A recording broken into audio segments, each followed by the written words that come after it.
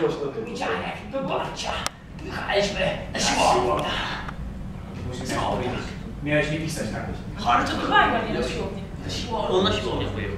Na siłownię, ale nie jest Miałeś nie pisać tak. Kurwa. Znów ta historia z zeszłego roku. Mam tylko... Tak, powoli No, wszystko zmieniło.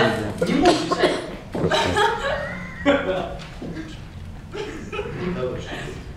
Ja, mój dziadek i babcia pojechaliśmy do Dubaju. Do Tusia. Ale prosimy pierwszy głos. Pierwszym głosem był super. Dobra. Ja, mój dziadek i babcia pojechaliśmy na siłownię. Jestem takim głosem! Żebyś, żebyś nie pisał tak? Znowu z tym głosem. Hardkorowo. Tyle razy mówiłam ci, żebyś nie pisał tak